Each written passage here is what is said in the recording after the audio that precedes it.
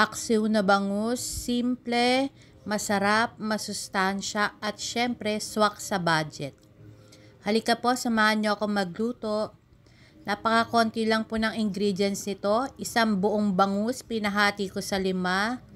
Lagyan ko po ng bawang, sibuyas, kamatis at maraming luya. Nilagyan ko rin po siya ng tatlong siling green.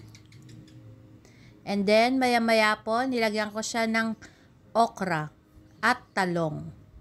Yan po yung gulay na kasama ng paksiw natin. Then, nilagyan ko na po siya ng tubig. Kalahating cups lang po ng tubig. And then, nilagyan ko na po siya ng dato puti suka. Paglagay ko po ng suka, nilagyan ko siya ng maraming paminta at konting magic sarap. Tinakpan ko po siya.